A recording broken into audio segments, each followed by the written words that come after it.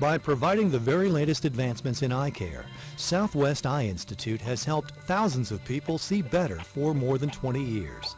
Located in Las Vegas, Nevada, the Institute has embraced the newest innovations in vision correction technology, such as Crystalens, and has refined procedures such as LASIK refractive surgery. Dr. David Malitz has built a reputation for using the most up-to-the-minute application